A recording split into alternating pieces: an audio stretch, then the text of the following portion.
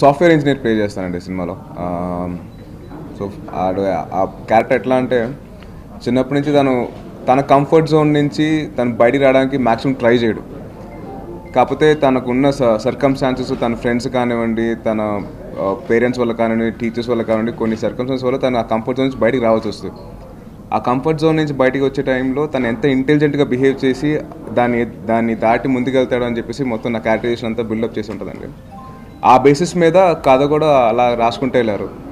And దీంట్లో ఒక మంచి అండర్లయింగ్ మెసేజ్ ఏంటంటే మనకి ఎవరైతే హెల్ప్ చేస్తారో వాళ్ళని మర్చిపోకూడదు. వాళ్ళకి అవసరం వచ్చినప్పుడు మనం కూడా ఉండాలి వాళ్ళ కోసం అని చెప్పేసి మొత్తం ఆ కథలో ఒక అండర్లయింగ్ మెసేజ్ లాగా ఉంటుంది.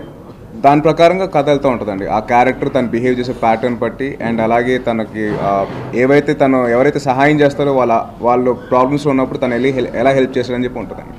కొత్త క్యారెక్టర్ అంటే లేదండి. బేసిక్లీ ఒక డిఫరెంట్ ఫస్ట్ టైం ఒక ఫుల్ ఫ్లెజ్డ్ కమర్షియల్ సినిమా చేస్తున్నాను.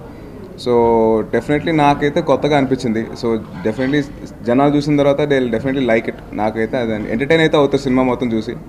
సో మంచి బాగుంటుంది అనిపిస్తుంది. ప్రతి సినిమా బ్రేక్ ఇస్తుందని చేస్తామండి. బట్ డెఫినెట్లీ మన వన్ మంత్ ప్రయత్నం అయితే మనం చేస్తాం. దాని తర్వాత రిజల్ట్ అనేది మన చేతిలో ఉండదండి. అది జనాలు సినిమా చూసిన తర్వాత వాళ్ళు ఏం ఫీడ్బ్యాక్ ఇస్తారో అది తీసుకుని వెళ్ళాలి మనకి. వినయ్ గారితో వర్క్ చేయడం చాలా హ్యాపీగా ఉందండి. అంటే um, అటువంటి డైరెక్టర్ నాకు అవకాశం ఇచ్చిన ముందు నేను ఆయనకి చాలా థ్యాంక్స్ చెప్పుకోవాలి. ఎందుకంటే నేను వచ్చేది ఒక ఫోర్ ఫ్లాప్స్ తర్వాత వస్తున్నాను. సో ఫోర్ ఫ్లాప్స్ తర్వాత వస్తున్నప్పుడు అండ్ ప్లస్ ఆయన వచ్చేసి ఒక ఒక బిగ్గెస్ట్ బ్లాక్ బస్టర్ చిరంజీవి గారితో కంబ్యాక్ ఫిల్మ్ చేసి వస్తున్నారు. అటువంటి ఆయన నాకు అవకాశం ఇచ్చి నాకు మంచి రోల్ ఇచ్చారు కూడా. సో ఆయనకు ముందు నేను చాలా థ్యాంక్స్ చెప్పుకోవాలి. వర్కింగ్ ఎక్స్పీరియన్స్ వచ్చేసి చాలా కంఫర్టబుల్ ఉంటుందండి. ప్రతి ఆర్టిస్ట్ని కంఫర్ట్లో పెట్టేసి ఏది చెప్పినా కానీ ఒక మంచి చిరునవ్వుతో చెప్తూ ఉంటారు.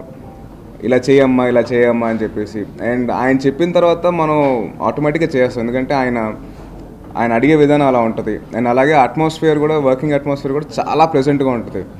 హాయిగా మన పని మనం చేసుకోవచ్చు. కాన్సన్ట్రేషన్ అంతా మన డైలాగ్ మీద ఆ షార్ట్ మీద ఉంటుంది. సో చాలా ఈజీగా ఉండిందండి వర్క్ చేసేటప్పుడు. సో అట్లా అక్కడ కనిపిస్తుంది ఎక్స్పీరియన్స్ డైరెక్టర్స్తో వర్క్ చేసేటప్పుడు ఇలాగ ఉంటుంది ఇంత మనం సైలెన్స్ అని చెప్పి వాళ్ళు అరవాల్సిన అవసరం లేదు. మన క్యారెక్టర్లో మనం చేయాల్సిన షార్ట్ మీద మనం కాన్సన్ట్రేట్ చేసుకోవచ్చు అని చెప్పి అనిపించింది డెఫినెట్లీ వినాయక్ గారు వాళ్ళు చేశారండి బట్ కథ నచ్చి కూడా చేస్తాను ఎందుకంటే నాకు కానీ వినాయక్ గారు కానీ మేసెస్ బేసిక్గా కావాల్సింది కథను కథ లేకుండా మనం ఎంత వినాయక్ గారు కాంబినేషన్ సాయి తరుణ్ తేజ్ కానీ ఎవరు చూడరండి. కథ ఇంపార్టెంట్ చాలా ఉపయోగపడిందండి.